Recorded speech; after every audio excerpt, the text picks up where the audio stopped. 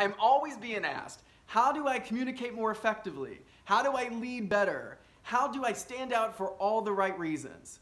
So if you've ever asked that or that you're wondering about those answers, then I hope to see you on Tuesday, January 15th at the Douglas County Career Expo and Job Fair.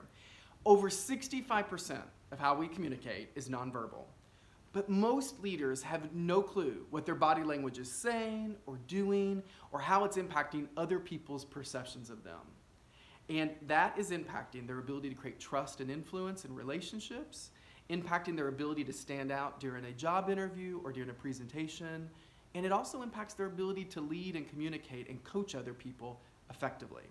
So, join on January 15th and you're going to learn about what your body language is really saying about you and understand how to use the four power zones on your body to demonstrate either stronger confidence and power or empathy and collaboration and how to flex your style so you can meet people where they are, communicate with stronger influence, and be a more dynamic leader in every part of your life. Hope to see you there.